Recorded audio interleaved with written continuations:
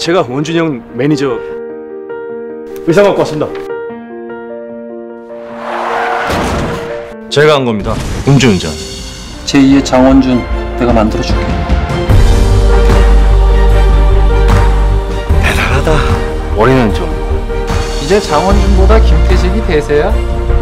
센 걸로 드리겠습니다. 대신 제 건물도 주셔야겠습니다.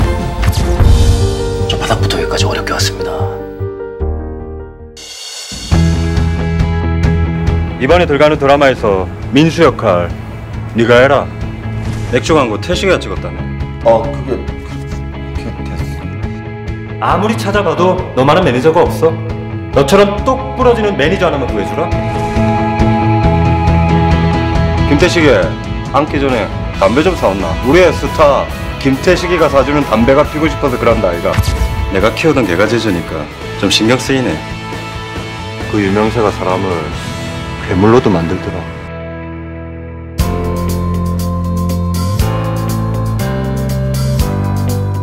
나 드라마 제작자예요.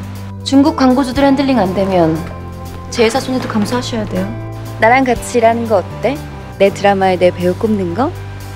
당연한 거야. 그게 장사고. 나랑 함께 해줘. 장원준이 하려고 했던 영화를 하겠다는 의도가 뭐야? 넌 왜 저렇게 빈티가 나니? 어디까지 갈 수 있을까?